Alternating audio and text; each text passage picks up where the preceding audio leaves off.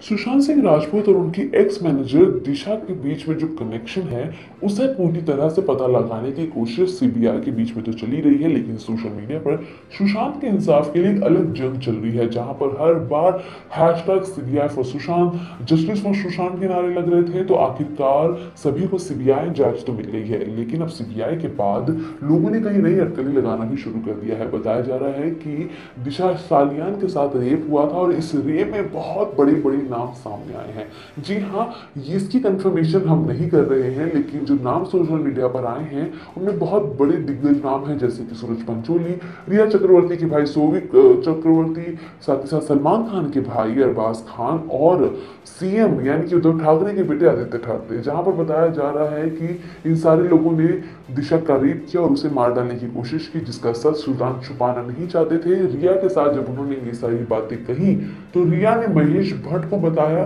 और उसके बाद ये पूरी प्लानिंग और प्लॉटिंग शुरू हुई, जिसके बाद रिया सुशांत को छोड़कर चली गई। और उसके बाद सुशांत काफ़ी ज़्यादा परेशानी में घिर गए और जब ये सब कुछ हुआ तो पता चला कि इतने दिनों से, यानी कि दिशा की मौत के बाद से जब ये छोड़कर चली गई थी रिया सुशांत को, तब से उन्होंने सुशांत से बातचीत करना बिल्कुल बंद कर दिया था, जिसकी वजह से सुशांत काफ़ी ज़्यादा परेशान रिया के होने लगे थे। इसके चलते ही उन्होंने जो मीडिया के सामने, पुलिस के सामने अपनी बात रखनी चाहिए थी, वो भी नहीं रख पाए थे। तो क्या ये जो सारी अटकलें लगाई जा रही हैं, क्या ये सारी रूमर सच है और क्या सच है तो इन लोगों को सजा मिलेगी या नहीं? आपको क्या लगता है? हमें कमेंट करके ज़रूर बताएँ। तो देन हमारे चैनल को सब्सक्राइब बिल्कुल करें।